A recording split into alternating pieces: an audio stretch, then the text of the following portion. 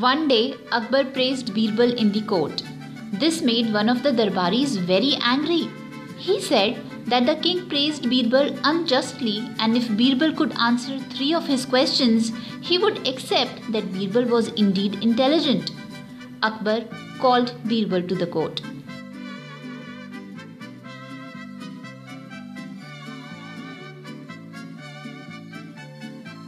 The three questions were how many stars are there in the sky? Where is the center of the earth? And how many men and women are there in the world? To answer the first question, Birbal brought a hairy sheep and said, There are as many stars in the sky as there is hair on the sheep's body. You can count them. To answer the second question, Birbal drew lines on the floor and bore an iron rod in it and said, This is the center of the earth. Measure it if you want.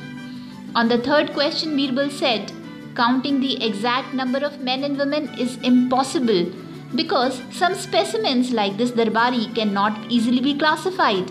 We must kill all the people like him.